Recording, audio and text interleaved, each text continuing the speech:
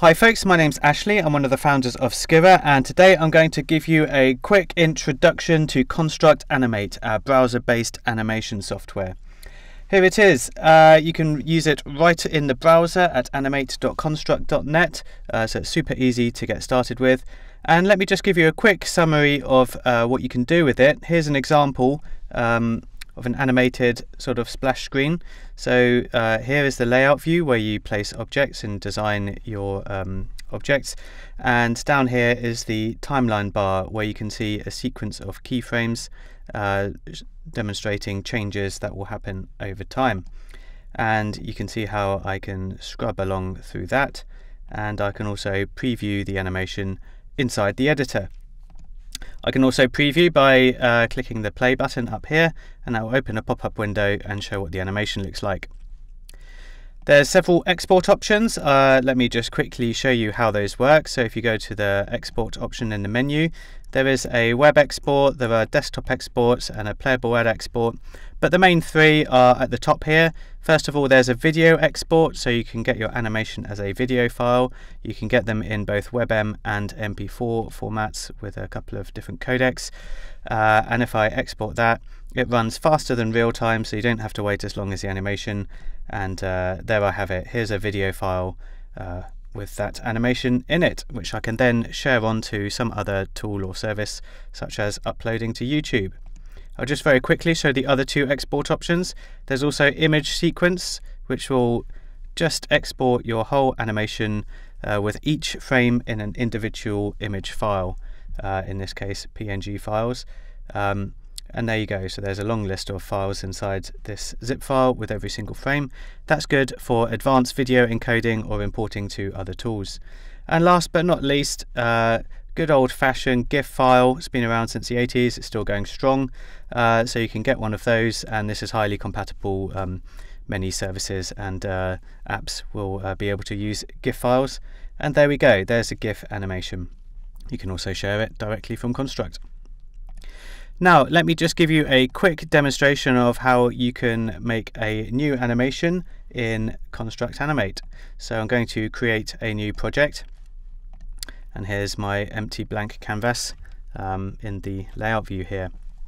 I can just drag and drop image files from the desktop into Construct and there's our piggy. And now I'm going to add that to the timeline so I can animate it.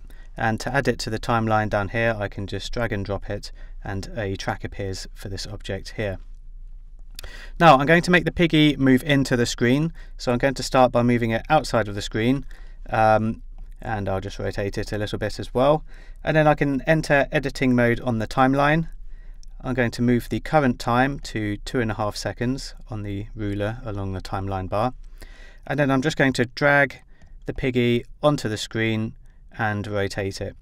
So that means this is where it will be and how it will look at the time two and a half seconds. Then I just click set keyframes and that's created a um, animation that will move the piggy into that place and rotate it along the way. Nice and easy.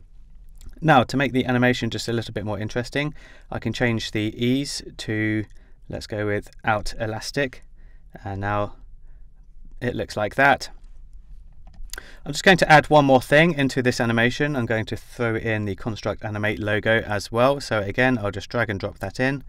I'll move it off screen and I'll add that to the timeline bar and once again I choose this time I'm going to choose uh, 4 seconds time on the timeline to move it up to here and I'll set keyframes there so now that will also oh, need to rewind the current time play from the beginning and you can see it moving slowly in there again let's make this a little bit more interesting so first of all I can change the path mode for the logo um, to a cubic Bezier and this allows me to design a curve. So now I can make it come in on a curved path like that. And once again, I can change the ease to something a bit more exciting. Let's go with in-out elastic this time. And that will now look like that, coming onto the screen with a little bounce. So first, uh, to make sure this timeline plays uh, straight away before I preview the project. I'll change the start on layout option to layout 1, that's this layout here. And then when I preview the project, we can see both these objects fly in one after the other with a nice bounce due to the ease mode. And now if I um, export that, I can get a video file with that animation in. That's how quickly I can get results. So let's get an MP4 video file that's widely supported. It will encode the video for me and then I can get my MP4 file. And there we have it. That's the animation I just created just now with two objects flying into the screen. And I can take that and share it somewhere else. That's how easy it is to get started with Construct Animate. You can try it out today. Visit animate.construct.net or visit construct.net website for more information. Uh, thanks. We hope you enjoy using Construct.